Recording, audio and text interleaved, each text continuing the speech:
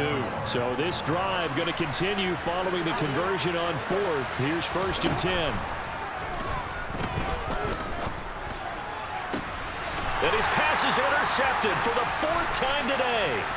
Tre'Davious White with a pick. Pass the 20. And he is going to score. It's a pick six and a Bills touchdown. Well, what has been a fantastic game for this defense has been